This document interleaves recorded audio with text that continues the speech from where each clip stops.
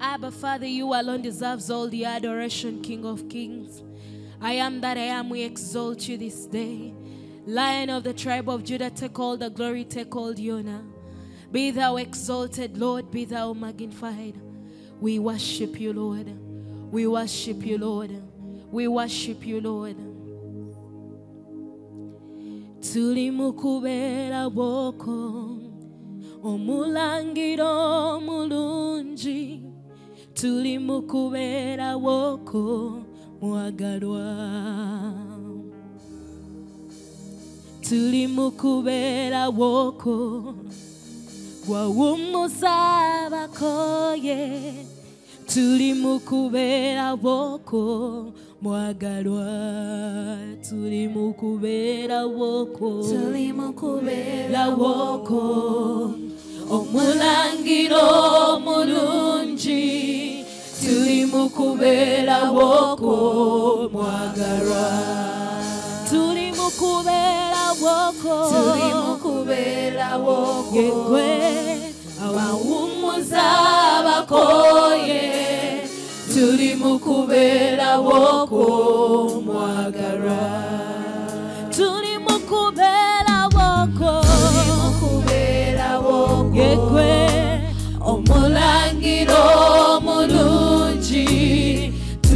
kubeera woko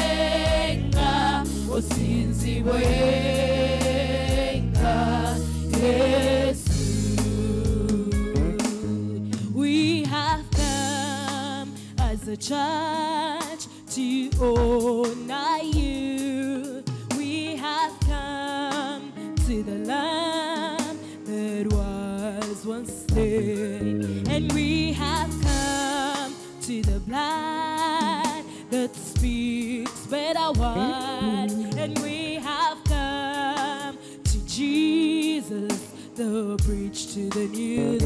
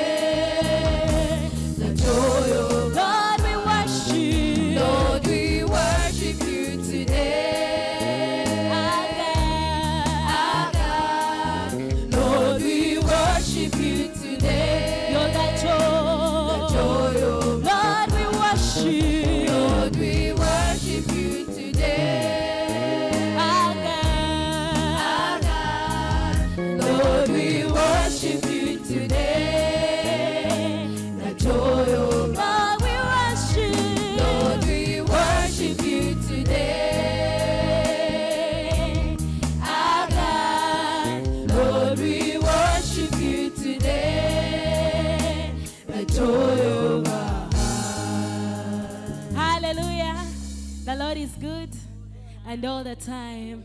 And that's his nature. Let's give him a mighty hand clap. Hallelujah. We are going to praise the Lord this afternoon. Amen. Tell your neighbor wherever you are, in your sitting room, at your workplace, wherever you are, tell them we are going to praise the Lord. Hallelujah. Amen. Amen ekitiibwa netendo bimuddire mukama. Ekitiibwa netendo bimuddire mukama. Ekitiibwa netendo bimuddire mukama oyo ekitiibwa netendo bimuddire mukama. Ekitiibwa netendo bimuddire kabaka. Ekitiibwa netendo twesazana tuleta ekitiibwa tukimutize ekitiibwa netendo bimutire mukama. Ekitiibwa netendo bimutire mukaboyo ekitiibwa netendo bimutire mukama. Ekitiibwa n'okusinza bimutire kabakoyo. Ekitiibwa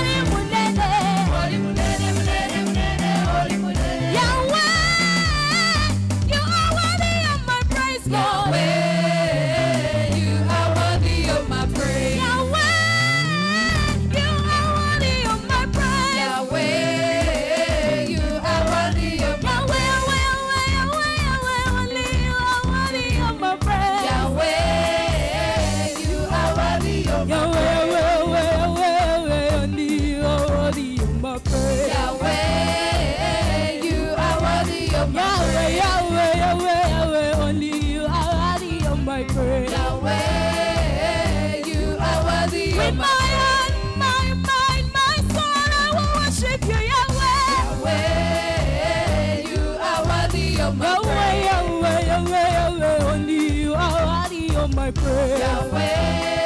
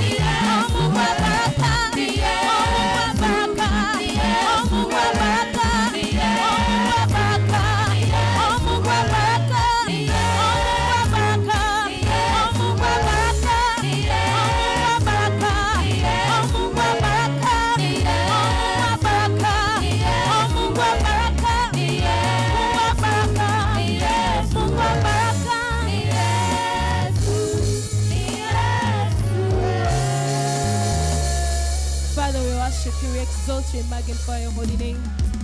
Take all the glory, take all the hmm? honor, Jesus. Be thou exalted, be thou magnified. We lift your name on high. Take all the glory, take all the honor. Lebo la kata ziara tande de bo la kashata la mande de bo. Lebo ya la la ziara tande zete kesete de bo. La da bo ya kaya la la mande de ziere tende zeke shata ka ziere tende de. Lebo ya la da mande ziara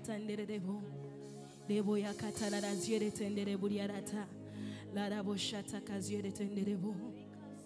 We worship you, Lord. We exalt you. Angels bow before your throne.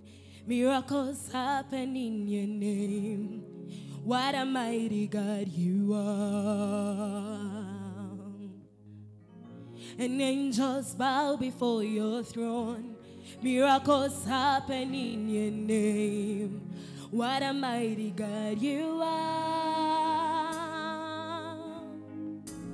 Angels bow before your throne. Miracles happen in your name. What a mighty God you are. Angels bow before your throne. Angels bow before Miracles your throne. happen. Miracles happen What a mighty God. What a mighty God you are. Angels bow before your throne. Angels bow before Miracles your throne. happen. Miracles happen What a mighty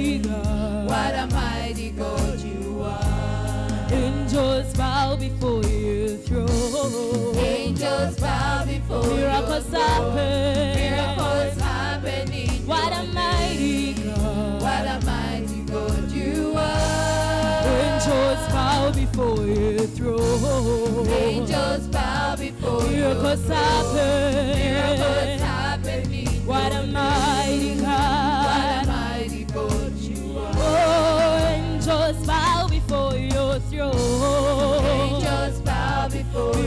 Miracles your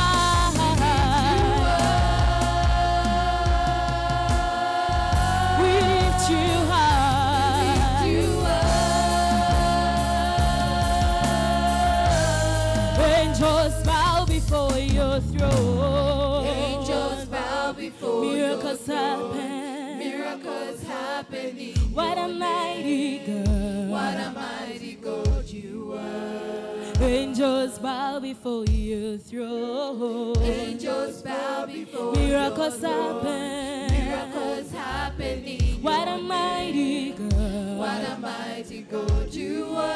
We lift you high.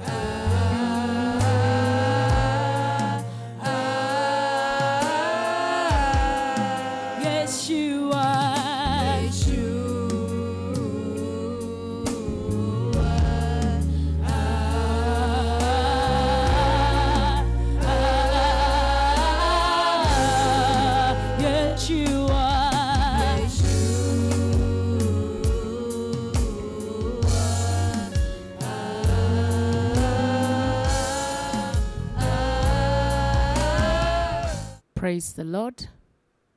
We want to thank the Lord that this is the day the Lord has made. We rejoice and we are glad in Him. Can we please humble ourselves and we pray? Heavenly Father, we want to thank you, Almighty God, everlasting King. We bless your name. Daddy, be thou exalted in the mighty name of Jesus. For all that you do and what you shall continue to do, Father, we say thank you. For your glory and power, your goodness and mercy, Father, we say thank you. Be thou exalted in the mighty name of Jesus. Father, as we go into your word, give us revelation and understanding. We bind and cast out anything contrary that wants to rise up against us during this session. Spirit of the living God, come and have your way. That we shall not only be hearers of the word, will be doers of the word, and the name of the Lord will be glorified. Father, take all the glory, take all the honor, take all the praise. In Jesus' mighty name, we prayed. Praise the Lord. We want to thank the Lord for this day. Our Lord has been good, has been gracious. Um, we started looking at our kingdom living principles, and we are still looking at Matthew chapter 5. Matthew chapter 5. Uh, we are going back to revisit what were the statements that our Lord Jesus Christ made that we need to take note of, understand, and then put to practice into our lives. Uh, because the king- kingdom living principles is uh, teaching us the lifestyle that a believer or a child of God is supposed to live. Uh, so today we shall look at, um, it's still part of the spirit of the law. We are going to look at um, the topic of love your enemies. Love your enemies. Love your enemies. This is what Jesus spoke about in Matthew chapter 5, and it's from verse 43 to verse 47. Matthew chapter 5, verse 43 to 47. We look at love your enemies. So, can we please turn our Bibles uh, to Matthew chapter 5, and we are going to read from verse 43 to 47. We read, I'm reading it from the New King James Version. You have heard that it was said, You shall love your enemy and hate. Uh, sorry, you have heard that it was said, You shall love your neighbor and hate your enemy. But I say unto you, Love your enemies, bless those who curse you, do good to those who hate you, and pray for those who spitefully use you and persecute you, that you may be the sons of your Father in heaven, for he makes his sun rise on the evil and on the good, and sends rain on the just and on the unjust. For if you love those who love you, what reward have you? Do not even the tax collectors do the same? And if you greet your brethren only, what do you do more than others? Do not the, even the tax collectors do so? So there was something that was happening at that time. Those who believed in Jesus Christ and followed him, they were being attacked, they were being persecuted at that time. They were not speaking good things about them. So Jesus is now telling them that you have to be different. You cannot act like them. You cannot behave like them. And uh, this is why he brought out some of these um, statements telling them that even though they persecute you, even though they speak um, bad about you, even though they despise you, he's saying that don't act the way they act, be different. Uh, this is something common that um, we face uh, mostly in the body of Christ, you know. There are those who can rise up and just attack you from nowhere, say all sorts of things, and you wonder where is this person picking it from? You've not done anything to them, you don't even know them. Even many times you might not even want to know about them. But they are the ones who rise up against you. They get up, they speak all sorts of nasty words, and they spread it like it is something they have seen practically you doing. So those are the categories that uh, you know our Lord is talking about. Um, of course, when an average person looks at the word enemy, they are looking at uh, witchcraft. They are looking at um, familiar spirit. Uh, those who are using familiar spirits, those who are attacking with witchcraft. Uh, the, the concept here, the concept here is more of those that would know attack. You see how it is going so much in social media. Somebody just rises up against a man of God, a woman of God, puts something on them and begins to spread it like fire. You know, speak all sorts of things. So when the person rises up and is very aggressive, they now begin to say it's the devil's work, it's the devil's work, it's the devil's work. So let us look into these uh, other passages that are references to what our Lord is talking about. Uh, that let's go to the Old Testament and look at Deuteronomy chapter 7. Let's go to Deuteronomy chapter 7 and we are going to read verse 1 and 2. Deuteronomy chapter 7, verse 1 and 2. Deuteronomy 7, 1 and 2. When the Lord thy God shall bring thee into the land whither thou goest to possess it, and has cast out many nations before thee, and the Hittites and the Girgashites and the Amorites and the Canaanites and the Perizzites and the Hivites and the Jebusites, seven nations greater and mightier than thou. And when the Lord thy God shall deliver them before thee, and thou shalt smite them and utterly destroy them, thou shalt make no covenant with them, nor show mercy unto them. Then when you continue, it says, Neither shalt thou make marriages with them, thy daughter shall not uh, give unto his son, and the other way round. So these are people that uh, these Jebusites and uh, those different tribes that were mentioned there. Uh, they they came in. They came in in uh, with their different idols, and they possessed the promised land where the children of Israel were supposed to settle in. And now God is giving uh, Joshua instructions to go and conquer and take over. And that's why after they get into they get into the promised land, there were some other giants they had to pull down for them to fully possess. And a time came when it was there was a delay. Joshua did not fully, fully conquer all the land that he was supposed to conquer. And this is where now God comes and tells him, Joshua, thou art stricken, you know, thou art old and stricken in age. So he's, he became faint. He could no longer do the job as he would do when he was energetic. So that also affected the children of Israel because they are particular places that God told Joshua to possess for Israel. And, and you see some of these things that we see the battles going on uh, currently and all over the battles over land and things like that. Uh, just when if one doesn't fulfill their task and finish what they're supposed to do, they leave problems for the next generations that come after. They leave issues and unresolved. These are what we call the unresolved issues uh, that now keep following after, you know, the next generations. So when you look at that Deuteronomy chapter 7, 1 and 2 that we've read, uh, these are, this is one of the cardinal laws that we read in the Old Testament. Uh, you know, uh, fight your enemies, confront your enemies. Now, Jesus has now come, and Jesus brings us to a higher law from the one of love your neighbor and hate your enemy he comes us he brings us now to a higher law. And you know the topic we're looking at is the spirit of the law the spirit of the law. He now brings us to a higher law which says love your enemies bless them and do good to them. Love your enemies bless them and do good to them. So when you look at the cross cross reference of a similar uh, scripture that is there you find it in proverbs 25 proverbs 25 uh, verse 21 and 22 proverbs 25 verse 21 and 22. Um, Proverbs 25 tells us that if thy enemy be hungry, give him bread, uh, bread to eat, and if he's thirsty, give him water to drink. For thou shalt heap the coals of fire upon his head, and the Lord shall reward you. So they are trying to avoid revenge. They are trying to teach us don't hit back, don't revenge. Uh, because you did this to me, I also have to hit back, I have to attack back. He says you operate in a different way. Operate in a different way. Uh, when you also look at Romans chapter 12, Romans 12, uh, verse 20 and 21, it also speaks the same things as uh, what Proverbs has said. It brings out the same thing. But the verse 21 of, of Romans says that um, be not overcome of evil, but overcome evil with good. So it's still talking about don't revenge, don't hit back, don't give fire for fire. You know, uh, there are some people in the body of Christ until until they hit back a person is when they will rest. Somebody has accused you falsely, spoken all sorts of lies against you. You now rise up and say, I'm also going to get a story about them and hit them back.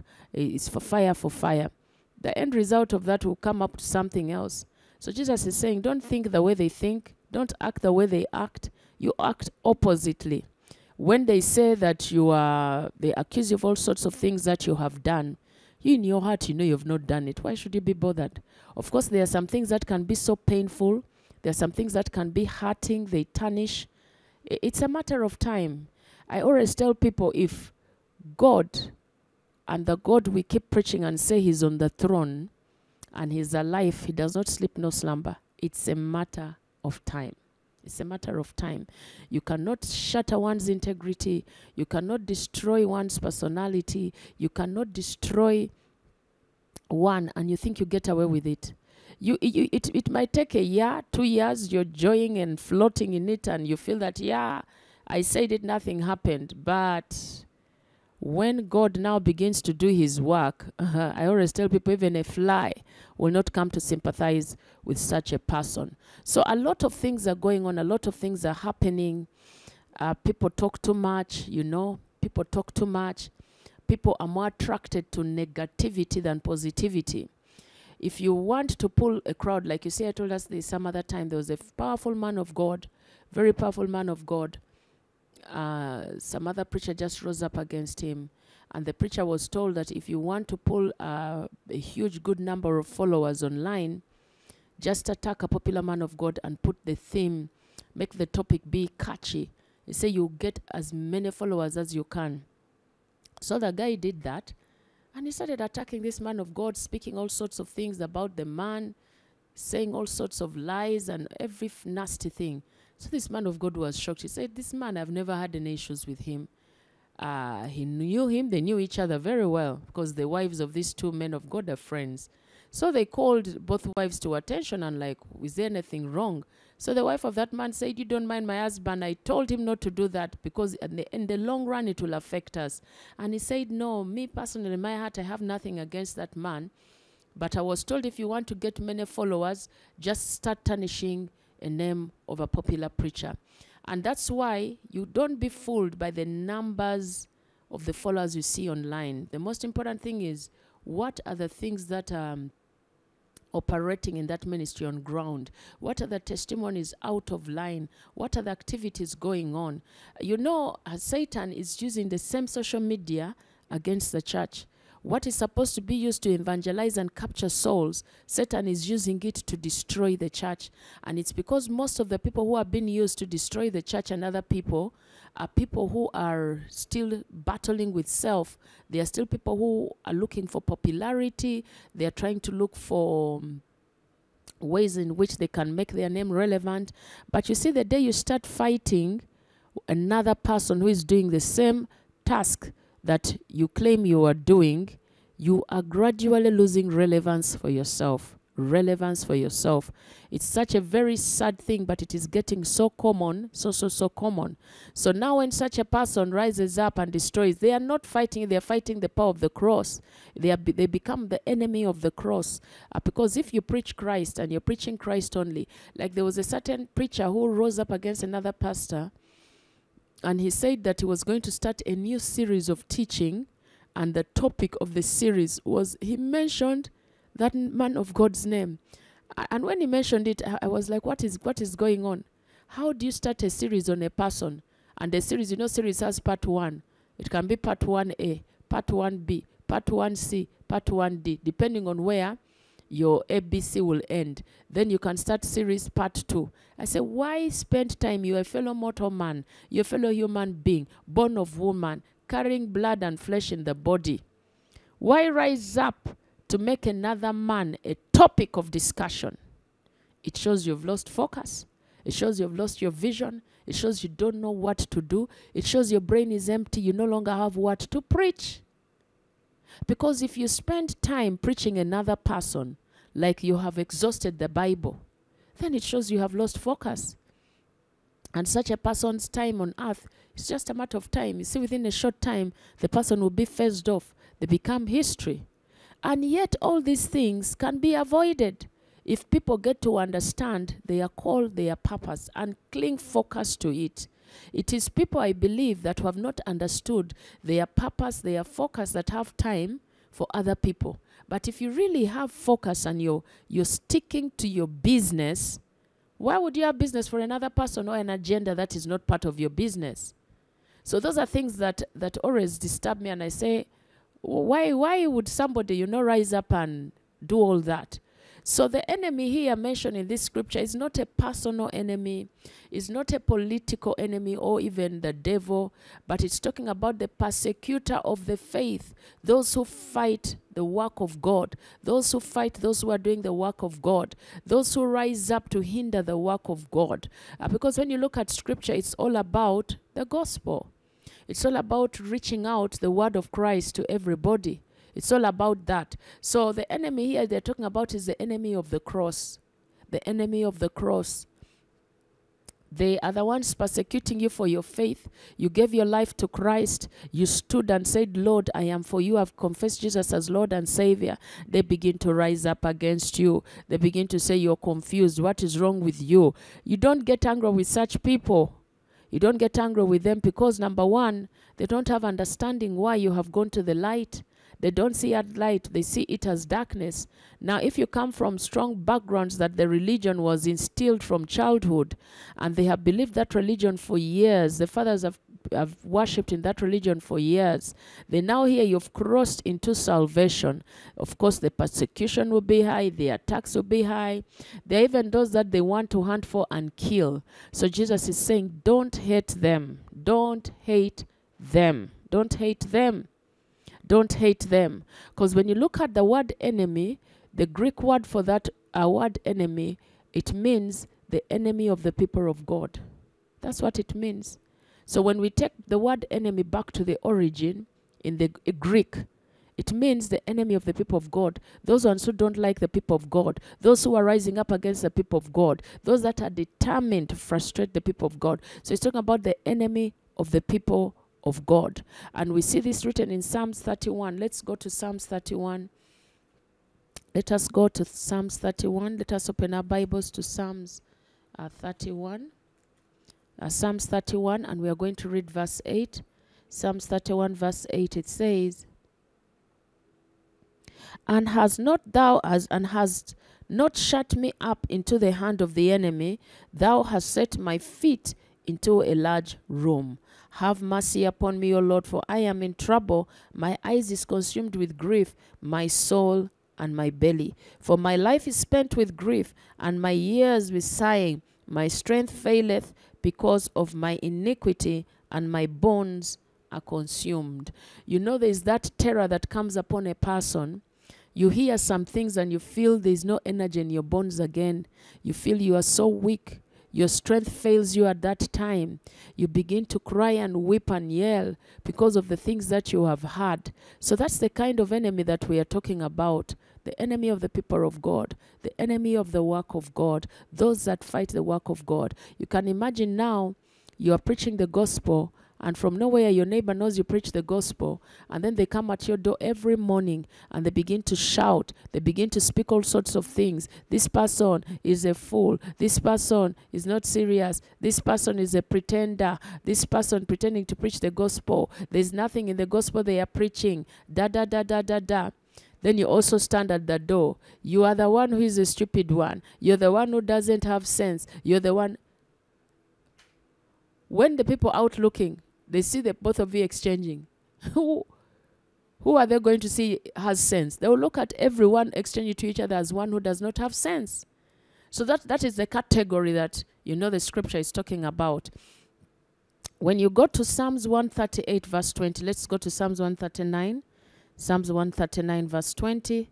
Psalms 139, verse 20. 139, verse 20. It says, For they speak against thee wickedly, and thy enemies take thy name in vain.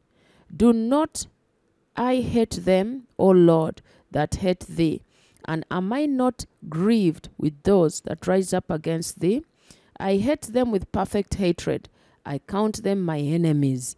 So you see, the enemy here is talking about more of what? Those who love God, those who are the people of God, those who are doing the work of God, is the ones they are really targeting. And that's when verse 23 David says, Search me, O God, and know my heart. Try me and know my thoughts, and see if there be any wicked way in me, and lead me into the way of everlasting.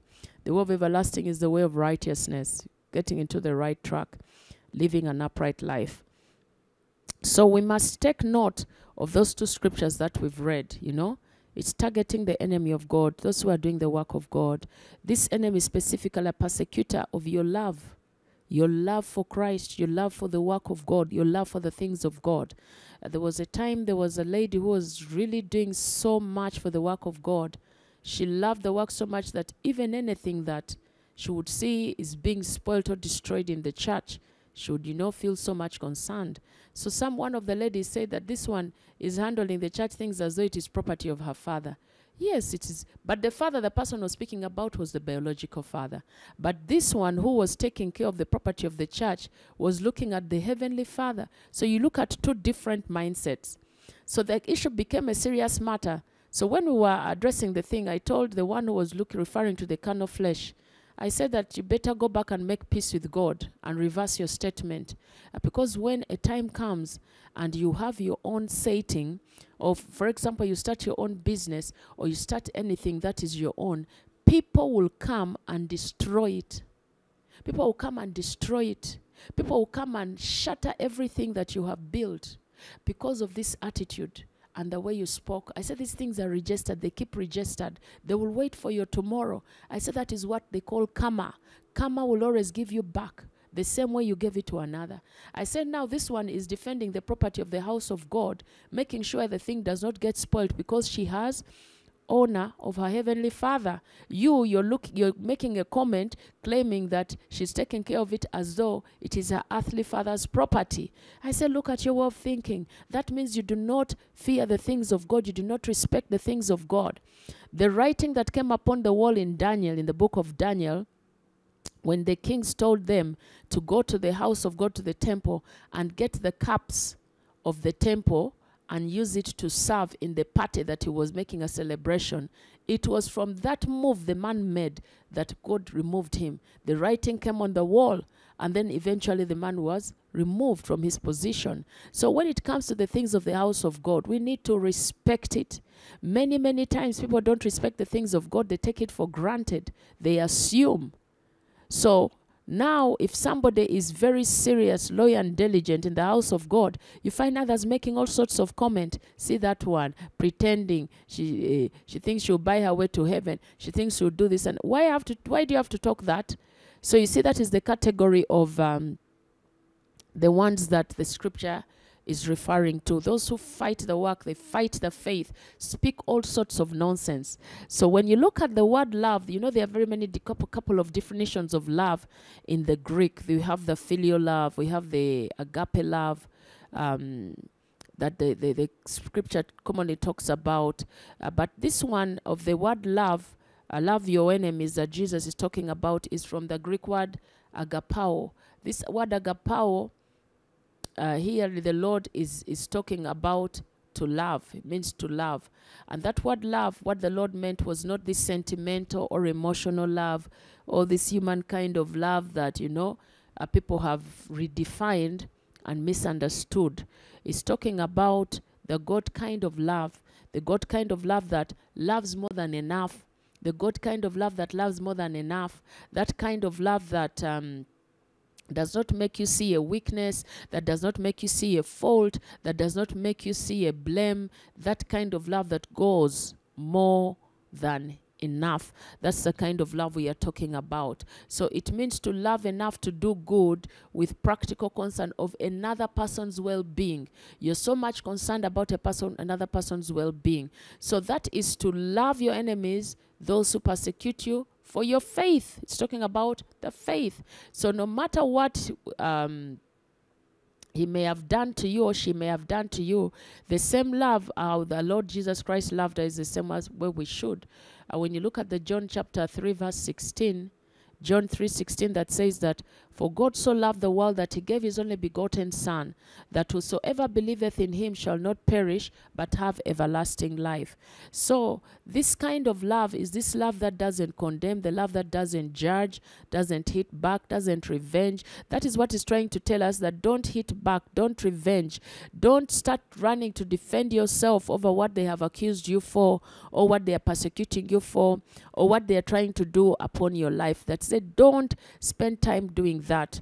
You just um, when they come to you and they need and you have the capacity to help, help. The same one who said you're pretending to be born again, look at you, and nothing good shall come out of you. They just rise up against you. Tomorrow you hear they have a problem next door. You get up and go and help. That's what Jesus is trying to say. Don't allow grudges to be held in your heart. Don't allow things to to control your life. Don't allow emotions to drive you uh, because uh, they spoke about bad about you, they attacked you.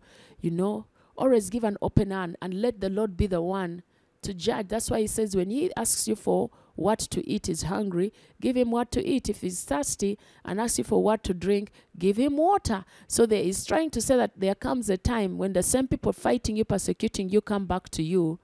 You receive them. A person can attack you because you gave your life to Christ or say, Oh, why are you doing this? Why have you left your old religion? Why are you doing this and that? And then um, they, you, they, they now send a message that, oh, after some time they are quiet, they are quiet. They now send a message to you that, ah, so and so is not well. You don't go and say, aha, God has started on them. They have not seen anything.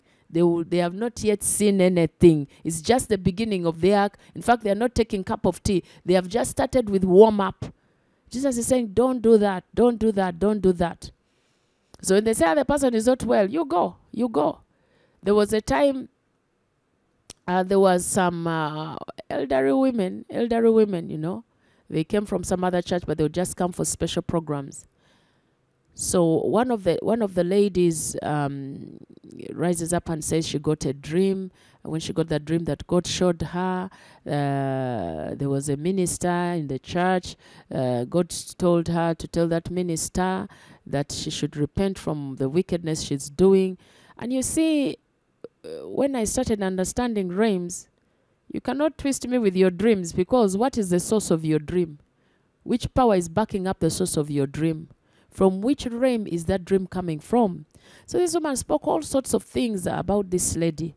And, and the, the lady in picture there, you know, there are some people, you don't even need God to really give you a deep realm, you know, about a deep revelation about them. There are some people you just look and, and the atmosphere around them will tell you what kind of life they live a private life. You can know, you can tell, you can tell. There's that energy around them that can tell you the kind of live, life they live, even when you're not with them. You can tell. So this lady rose up against this lady, started speaking all sorts of false things about this lady. She she she she managed to go through for one year successfully, and and this lady was so depressed, so depressed. So we spoke to her and told her that uh, if what they are saying is not true, you ignore her. She said, How can I ignore her? How can I ignore her? How, how do you want me to carry my face? I say, Ignore her. It's a matter of time. So after about one year of that lady's uh, uh, continuous talk, the lady all of a sudden started deteriorating. She started getting headache, migraine headache. Her health in and out is not well. And the lady now disappears. And then, of course, at that time, she was not a member, but these people come for special program. Even in the church where she was, she had scattered about two of her pastors, you know. Those ones took it to another level. They, they said her life will never balance. Things will not, you know, come out right with her. So after some time, of, of course, before I, I told the lady when she had come for the special programs, and, and I asked her, This thing you're talking about, this lady, are you sure you verified? Yes, I swear. Said, I said, Where did you get this information from? She said, I got a dream, and my dreams are just don't come like that. My dreams, all my dreams are right. I said that you're mistaken, you've been misled. I say, You say all your dreams are, are right. The way I see her, not even one scripture could she quote. So by which fruit or by which spirit was being was the dreams being backed up? And I told her, even though it is a dream, it shows you're childish. God, if God showed you, is showing you for you to pray and intercede for the person. You, you're rising up, uh, publishing, going announcing. As I told her, when your cup of iniquity is full, are you going to handle what will come up of you? Because the way you've tarnished this lady's name is so terrible. The woman was not remorse at all. She was not bothered. She said, Me, I have been in salvation for 28 years at that time. She had been in salvation for 28 years. And what has your number of years got to do with what we are talking about? In, you can be 28, 30, 40 years, but you behave like a child. Because if you are not grounded in the word and you do not allow the word to be grounded in you, there is no way you're going to have a change. And this is now the battle of the body of Christ. Many gave their lives to Christ, but they not go through foundational teachings that are supposed to help them understand uh, the principles of how a Christian life should be. So the lady jammed. Okay, we left her, we let her be. I told this other lady, the other lady got so sad, wanted even to, you know, change location. I said, How can you change her? The other is not even a member in the church. He just comes for special programs. Why are you moved and shaken, you know? But after one year, the lady started health started deteriorating, in and out, in and out, in and out. She fell sick, very sick, terribly sick. She was admitted in the hospital. Now, her close friends, who she was gossiping with, they knew who she loved, who she did not love. She knew they knew who she hated. So her two pastors, where she was um, categorized as a member of that church. She was not in talking terms with them because she had already shattered them, speaking negative about them. They didn't even want to hear or see her. So when the lady fell sick, she was admitted in the hospital. She went into a state of being unconscious. So they called the pastors and said that ah, one of your members what? When they mentioned the lady's name, one of the pastors said she has not seen anything. Just just the music has just begun. So the people got confused. They're like, okay, she used to go to MFM for special program. Let's alert the pastor. So when they called us, we asked them, who is that you're talking about? Because we had not seen her in about six months. We said, ah, but she's not our member. Uh, have you informed her pastor and her church? They say, ah, pastor, that is a long story. You see, when a person is a trouble cause, nobody even wants to be around them. So they now narrate this is the situation what. So I tell the other lady that this is now an opportunity for you to go and check on that lady and um, maybe she will repent and make reconciliation. She said, I cannot face that lady. I can't. I cannot. I even um, she said now I'm, I'm more consoled that uh, God has answered me because I, I kept crying every day that God, this woman, you're going to allow her to go scot free like that. but you see, uh, the, the, the daughter, you know, was crying, crying, pleading, crying, pleading. So the one who she attacked refused to go and see her. So we, we, we, we sat we sat on the border border, went went to Mulago to, to, to see the lady. Even uh, even myself, she did not speak nice words about me, but me, I'm a person, I'm not bothered. You can talk what you want to talk, you don't move me. Because first of all, I know I know why I'm on earth and I know what I'm meant to do. And when I look at what I'm supposed to do, it's still a lot. So I'm not going to rack my little brain and brain cells to go and allow blockage uh, from the stress hormones and bring issues for my health. No way. You talk, that is you.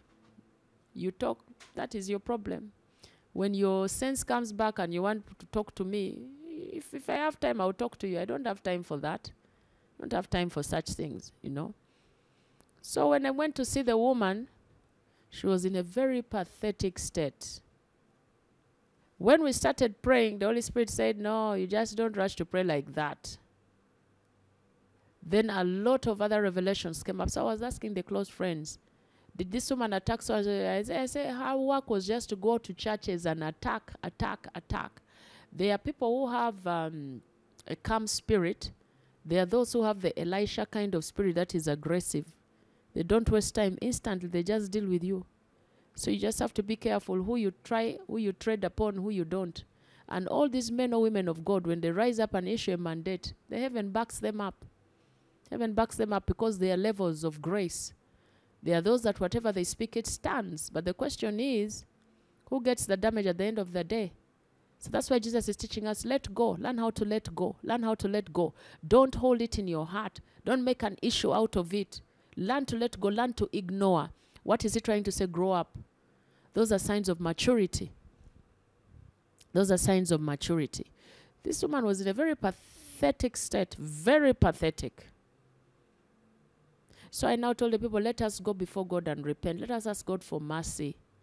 Even when we were doing repentance, still you'd feel like a brass blockage. You, you feel like, you know, there are times you pray and you know your prayer has not even reached above your head. You know it has not gone even in top of your head.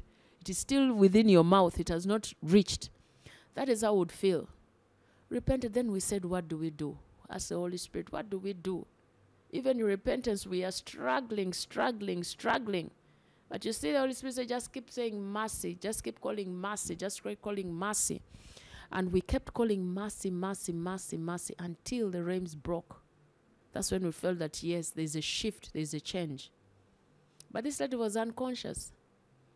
So after doing the repentance on her behalf, we turned now told the daughter,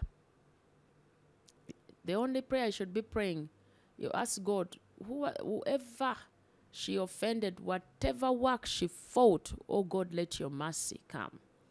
So imagine at that time, we did not go and we told the caller, that woman laid her bed, let her lie in it.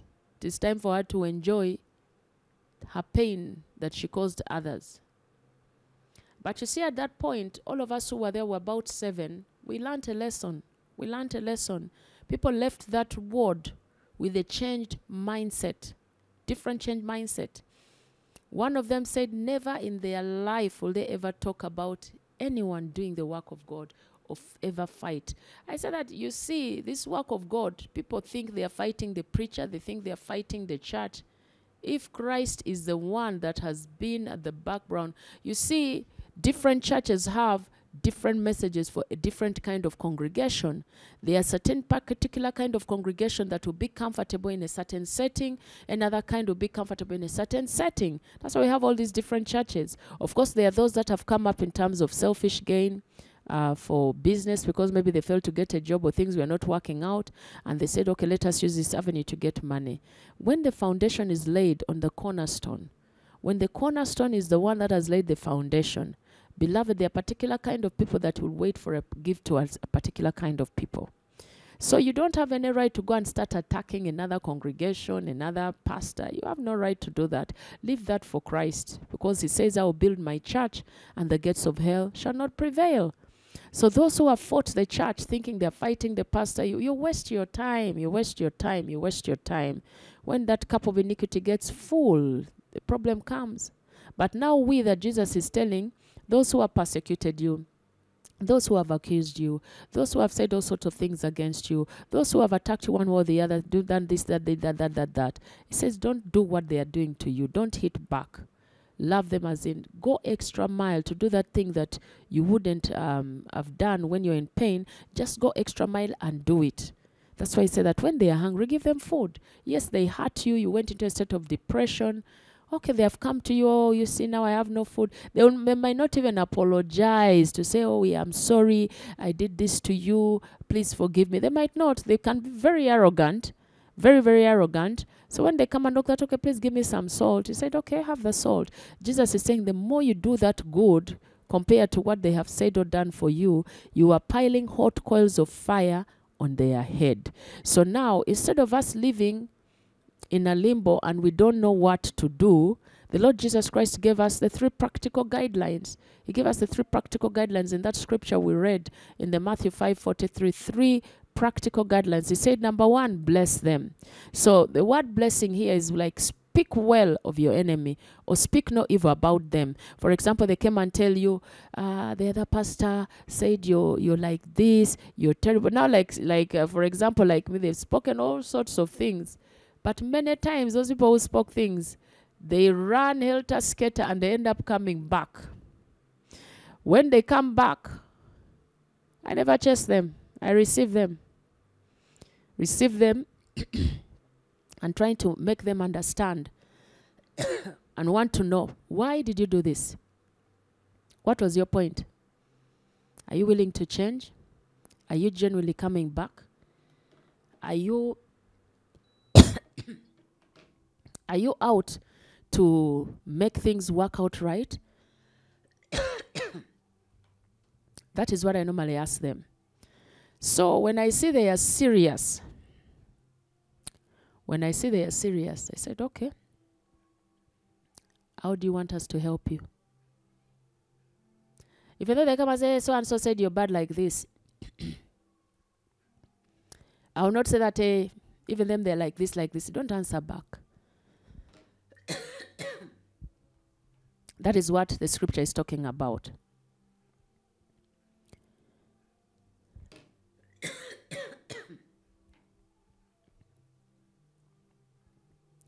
so let us look at the three practical guidelines. Number one, bless them.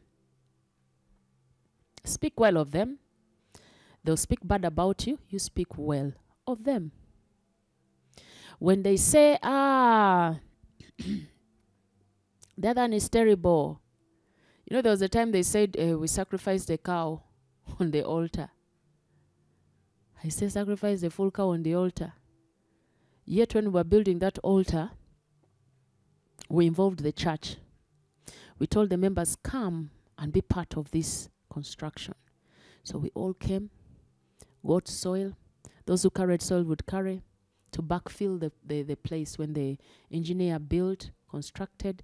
Now the place was like a ditch. He now said we need to backfill. So like to make the church be part of this construction of the house of God. We called them in. So they came. And people came so joyfully. Nobody asked for money. No. We came, we poured sand. Remember, we would carry basins and buckets of the sand. We poured, we poured until we filled it up in joy and happiness. So now, if the man says, Ah, Benita got a cow in the night, sacrificed, then buried it, that is a blunt lie. Because the members who had it were the ones even who rose to defend. They say, Ah, where did the cow pass? We are the ones who backfilled that place. We are the ones who backfilled that place. So when I heard, I did not say say that you go and tell that man that is the one who is crazy, is the one who is mad. They come and tell you, you see that man and woman of God is like this. You say that, yes, I know even they said this and that and that. Keep quiet. Keep quiet. Don't add anything. If they say "Ah, the man of God said this and that and that, that one said this about you, keep quiet. Don't answer back. Another person comes and tells you, hey, there's this man of God who does like this. I say, keep quiet. Don't answer back. That is what Jesus is saying. Bless them. If they say that, say, say, hey, the Lord will help them. The Lord will touch them. Ah, this one is that. Pray for them. The Lord touch them. That's the attitude Jesus wants us.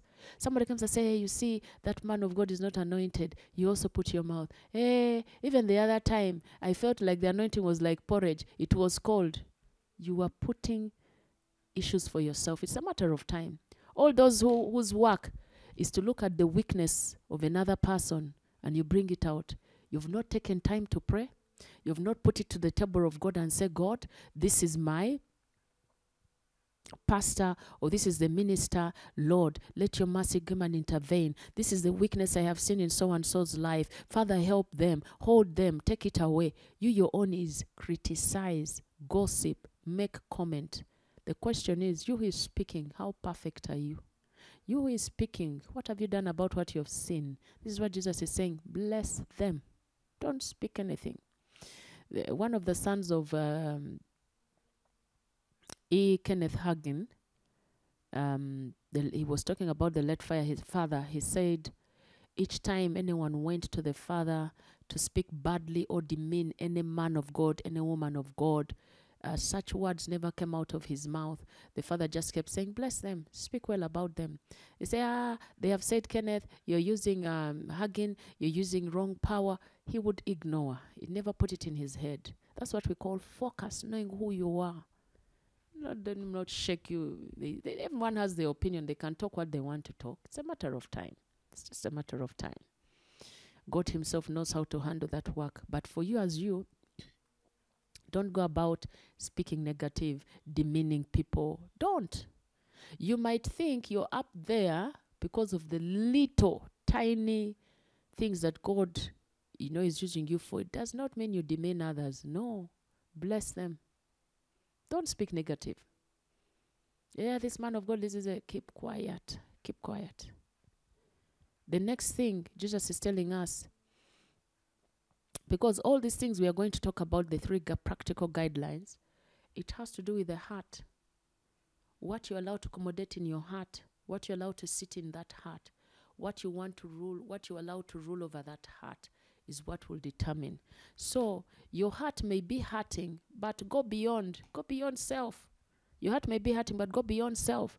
So the Lord is is is helping us to deal with self here, and He's helping, telling us that that fallen nature that wants to always revenge, wants to counter, He said, fight it, fight it, fight it.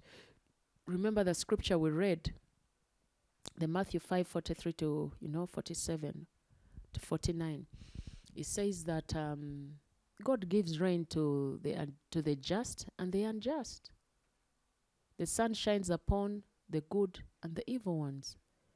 So he's trying to say that um, we are among them, but we should not act like them. If they rise up to attack us one or the other because of our faith, because of our love for Christ, our love for the things of God, don't hit back. He says, don't hit back. Be different. The next practical guide that our Lord Jesus Christ gave in that scripture was do good to them. Do good to them. Do good to them.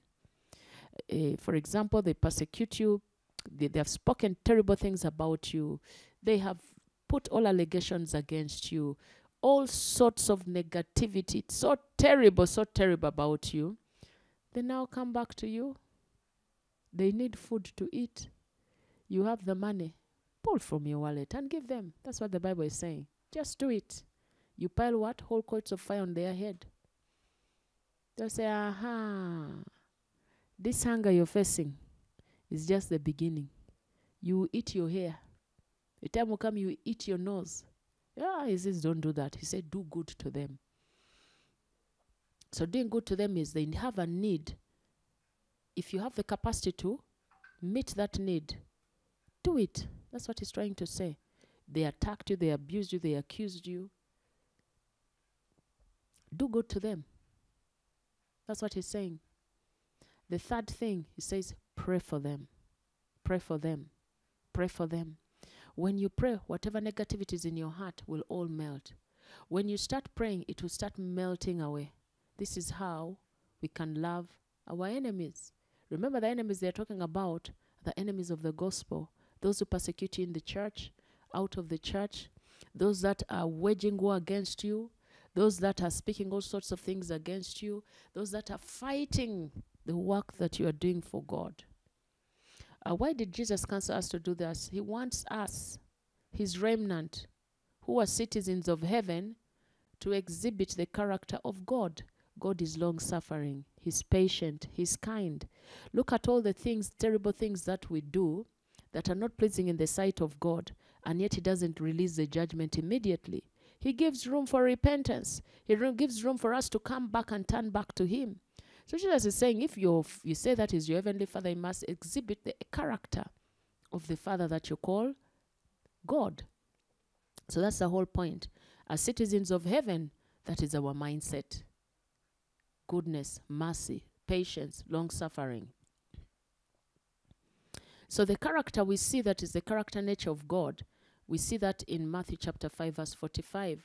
Matthew 5:45 where it says that you may be sons of your father in heaven, that you may be sons of your father in heaven, for he makes his sun rise on the evil and on the good, and he sends rain to the just and on the unjust.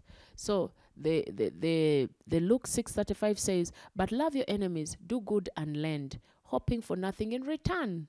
So the enemy comes, the one who has been attacking you, speaking all sorts of nasty things about you, terrible things about you. They come and say, "I need uh, some money. Please help me. I have this crisis. I have this problem. Please help me." They even have forgotten that they were the ones fighting you. Jesus is saying, if you have lend them do good and lend that's what the luke 6:35 says hoping for nothing in return so that's the time when you know your capacity to give is 20000 for example and um, in case the person doesn't pay it's okay so jesus is saying that give in return knowing that you will not get the reward back and he says your reward will be great and you'll be sons of the most high for he is kind to the unthankful and evil. Are you seeing? He's kind to the unthankful and evil, meaning those who are unthankful and evil, when they turn their hearts back to him, God is in position to forgive them. And that's what he wants. He wants us to draw back to him. He wants us to come back close to him.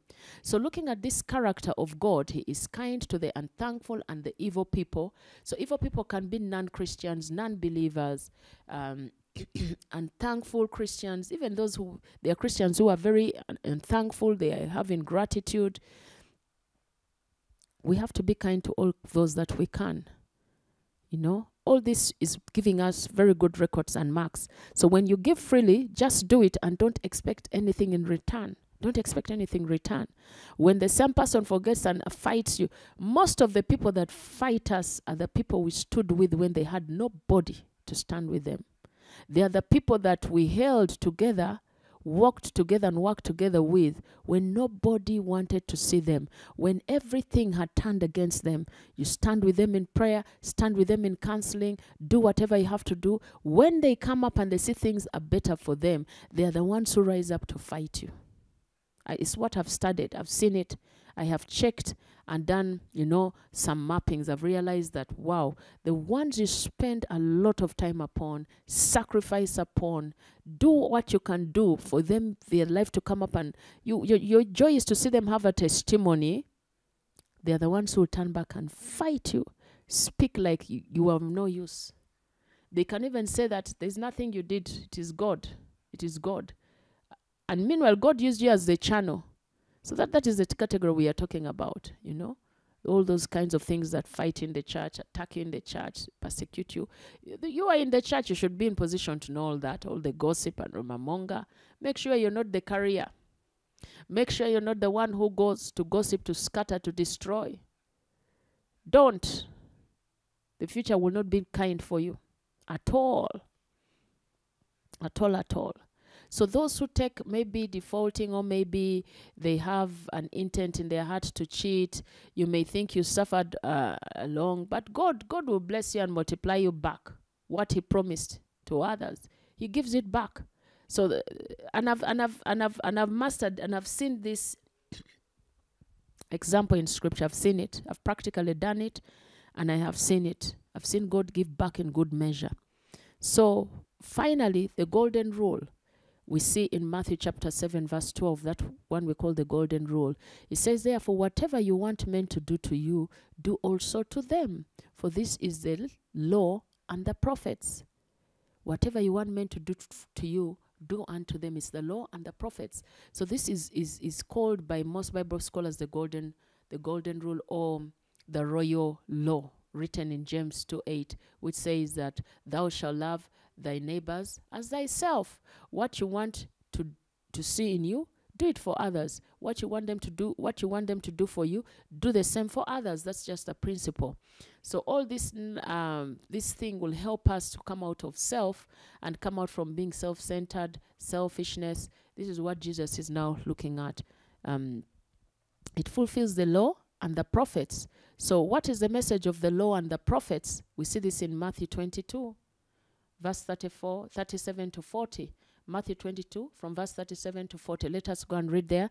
It says that Jesus said to him, You shall love the Lord your God with all your heart, with all your soul, and with all your mind. This is the first and great commandment. And the second is like it you shall love your neighbor as thyself. One of these two commandments hang all the law and of the prophets. They hang on the law and of the prophets. So this law and the prophets include the book of, of Exodus up to the book of Malachi. Uh, uh, when you read the book of Malachi up from that time, there are lots of things that were mentioned there. And all the law and the prophets is also till up to John the Baptist. It goes up to there. So all the teachings, all the statutes, all the judgments, uh, they summarize into two sentences. Love the Lord your God with all your heart, with all your soul, and with all your mind. And then you love your neighbor as you love yourself. So the Old Testament law summarized it into two commandments. It was summarized into two commandments. You know, it started with the 613, then compressed to 10 commandments, then now brought down to two. So the spirit and the essence of the golden rule is put others first more than you. Let others be the ones to be considered first, than you later. Uh, this is um, something that our Lord Jesus Christ wants to help us to deny self and crucify our pride. Crucify our pride, put down the self centeredness, uh, command all these things that everything about me, me, me, me, me, me, me. He wants us to put down self. That's why he's teaching us this thing. The whole point message is self is the biggest problem that causes all this. So you begin to have the importance of others. You think about others, which is most preferably more in the heaven. That's why Jesus had to come and he died for us. So it should, should be about others, first priority others. So remember one thing there's always um, someone who knows better than you. We should also have that at the back of our mind. There's always somebody who knows better than us. So we should not be concited that you are the only one uh, that knows everything, that you can do everything. Put at the back of the mind that there are those who are better than you and come to terms with that and accept it. There is someone who is more spiritual than you, uh, godlier than you, saintlier than you. There's always somebody who is far ahead of you. So appreciate the ones that are around you. So this is the medicine of pride. This is the medicine of pride. Always prefer others to you. Deny self. Crucify pride. The golden rule here is how you want others to treat you and others, um, how you want others to treat you. This is the entire Sermon of the Mount that reflects the new covenant of the law. So the new covenant of the law, you see, we see it in John 13, uh, John 13 and we read verse 34 and 35, it says, A new commandment I give to you, that you love one another as I have loved you, that you also love one another. By this, all will know that you are my disciples if you have love for one another. So you can imagine you hit back, I hit back, hit back. People are looking. Then tomorrow you wake up and say, Jesus loves you. Give your life to Christ. Will that person confess Christ? They will remember what you did, what you spoke, what you exchanged. And that's why it's very unfortunate.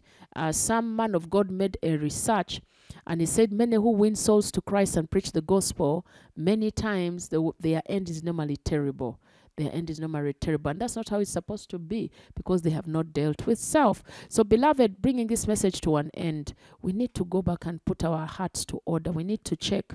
Um, the cardinal rule of the foundation of heaven, even God Himself, the essence of God, His major attribute is what? Love.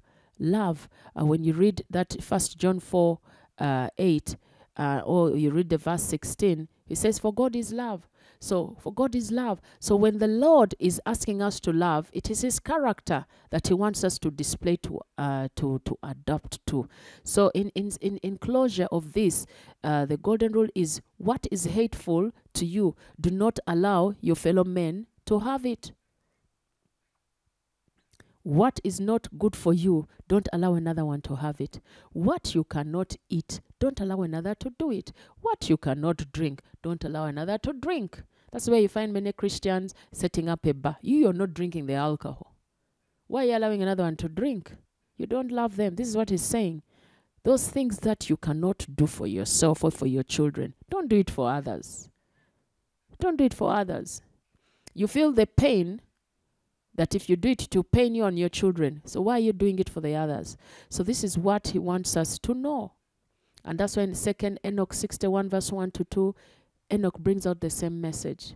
He says, My children, keep your hearts from every unrighteous deed which the Lord hates. He hates it. The Didache is that book of the apostles of the first century. There's that book called the Didache, uh, the book that the apostles wrote, what the apostles taught. The apostles also brought it out and said, Love God who made you. Love God who made you. Love your neighbor as you love yourself. Do not do anything to another person that you do not want to happen to you. This is what I was saying. The Didache says that, Didache 1 verse 2. It says that. So, beloved, the Sermon on the Mount, the purpose of this Sermon of the Mount, the angle of this Sermon of the Mount is that we may be perfect as our Father in heaven is perfect. This is the end goal for us to be perfect. That is the purpose. So, to bring us to that place of perfection. So, you're there, you've never confessed Christ as Lord and Savior. I want you to repeat after me and say, Lord Jesus, I believe in my heart that you died for me. I confess with my mouth that you are Lord over my life. Thank you, Lord, for loving and accepting me. Father, I present those children unto you, King of glory. They have boldly confessed you as Lord and Savior. Intervene over their matter, over their situation. Anything contrary that wants to rise up against them, we intercept it in the name of Jesus. Continue to release your spirit of love. Let it take rule charge over them in the name of Jesus. Thank you, everlasting Father. In Jesus' mighty name, we prayed. So, beloved, get in touch with us. Our contacts are online. It will help us.